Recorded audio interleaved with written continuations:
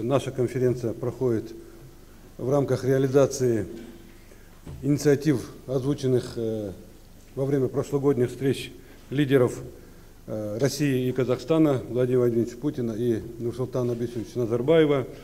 Э, естественно, Владимир Владимирович Путин следит за ходом нашей конференции и поручил мне огласить его приветствие. Разрешите, я это почетное поручение исполнил. Участникам, организаторам и гостям Международной научно-практической конференции «Религии против терроризма». Уважаемые друзья, считаю ваш форум, объединяющий представителей органов власти, институтов гражданского общества, ученых, политиков, дипломатов, серьезной и востребованной инициативой, весомым вкладом в укрепление соработничества религиозных организаций и государств в вопросах противодействия любым проявлениям экстремизма. Это особенно актуально сегодня, когда большинство стран сталкивается с глобальными угрозами и вызовами, ростом национальной и религиозной нетерпимости. Подчеркну, все мировые религии основаны на фундаментальных гуманистических ценностях, которые имеют неприходящее общечеловеческое значение – их духовные лидеры неизменно призывают верующих к милосердию, справедливости, толерантности, воспитанию подрастающего поколения на высоких идеалах добра и уважения друг к другу. И поэтому консолидация усилий религиозных объединений, их взаимодействие с государственными и общественными структурами – важное непременное условие обеспечения мира и согласия на планете. Убежден, что ваша конференция пройдет в творческом конструктивном ключе, а ее решения найдут воплощение в практической деятельности. Желаю вам успеха. Владимир Путин. Реалии сегодняшнего дня таковы, что терроризм приобрел глобальный мировой характер. Нет ни одного государства в мире, которое могло бы жить спокойно и в полной уверенности в том, что терроризм как явление не коснется его граждан.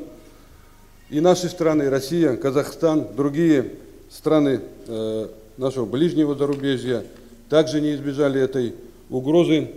Разрушение межрелигиозного мира стало целью радикалов, представляющих псевдорелигиозные маргинальные течения. Для этого они всеми силами стараются внедрить религиозное сообщество наших стран, прежде всего в исламское сообщество, чуждую нашим вековым традициям идеологию. Э, к сожалению, распространение такой идеологии, прикрывающейся ложными э, псевдоисламскими лозунгами, уже привело к деградации и хаосу в ряде регионов Ближнего Востока и Северной Африки. Обосновавшиеся там группировки, прежде всего международная террористическая организация, э, называющая себя исламским государством, совершает чудовищные преступления против человечества. При этом не следует рассматривать злодеяния этих террористов как часть религиозного конфликта между исламом и другими религиями или внутри самого ислама. Такие течения, группировки искажают заложенные в исламе глубокие нравственные принципы, активно вербуя в свои ряды в первую очередь молодежь, не имеющих адекватного знания э, об этой религии.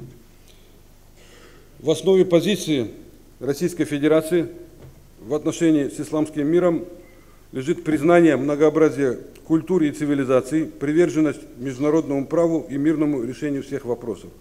В толковании действий и мотивов терроризма в различных регионах э, не должно существовать никаких двойных стандартов или выборочности по политическим, этническим или религиозным мотивам. В условиях сложной внешнеполитической обстановки, попыток эскалации этнополитической и межконфессиональной напряженности в стране, упрочение единства многонационального народа России и обеспечение межнационального согласия остаются приоритет, приоритетными направлениями государственной политики. Борьба с терроризмом э, задача не только государственных или тем более правоохранительных органов, религиозные организации, традиционные для России Конфессии э, отвергает любые формы насилия и экстремизма, какими бы религиозными, этническими или иными лозунгами они не прикрывались. Э, централизованными религиозными организациями мусульман проводится большая работа по сохранению и развитию форм ислама, сочетающих умеренность и здравомыслие в религии, э, с добросовестным служением Отечеству, с уважительным отношением к представителям других традиционных для нашего Отечества конфессий.